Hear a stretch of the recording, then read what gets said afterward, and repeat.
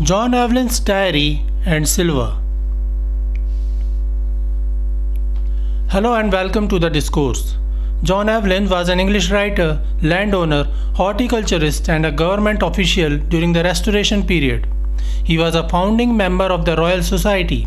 He was very interested in growing trees and he wrote a research paper titled Sylva or a discourse of forest trees and the propagation of timber in His Majesty's dominions and presented it to the Royal Society in the year 1662. Later on, it was published as a book in the year 1664. Thus, John Evelyn was a writer with scientific acumen and a great interest in botany. He was a friend of Charles II and was a part of the influential group that also had Christopher Wren, Samuel Pepys, and Robert Boyle. John Evelyn's Diary or The Diary of John Evelyn is a memoir that he began writing at the age of 11 and continued writing till his death in 1706.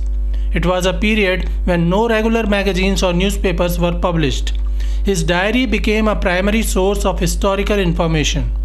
Evelyn's diary is a comprehensive source of information that covers art, culture, and politics, including the execution of Charles I, Oliver Cromwell's rise and eventual natural death, the last great plague of London, and the Great Fire of London in 1666.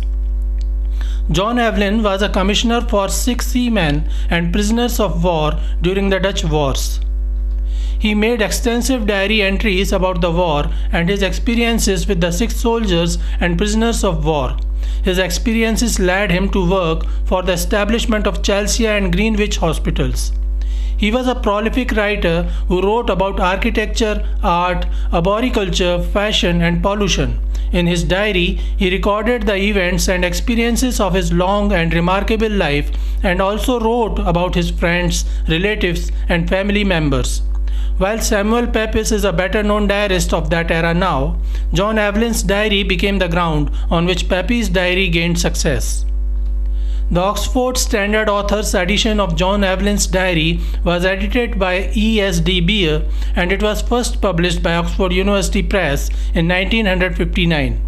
Evelyn's other major work was Sylva, which he presented as a research paper to the Royal Society in the year 1662. The subtitle of this paper was A Discourse of Forest Trees and the Propagation of Timber.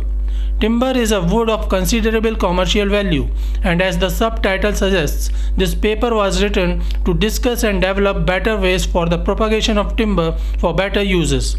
Sylva means all the types of forest trees growing in a particular region or country. He warned that the continued growth of glassworks and, and iron industries would have dramatic consequences for the British timber resources.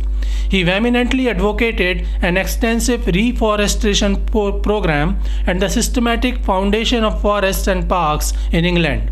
Evelyn received a lot of attention for his assertion that careless deforestation would cause the downfall of the British fleet, which was heavily dependent on wood. His writings reflected a sense of responsibility towards future generations, and Sylva is now perceived as one of the most important precursors of modern sustainability discourse.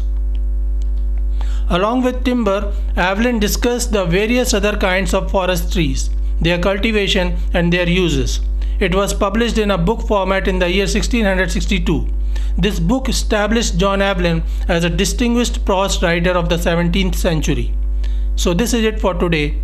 We will continue to discuss the history of English literature. Please stay connected with the discourse. Thanks and regards.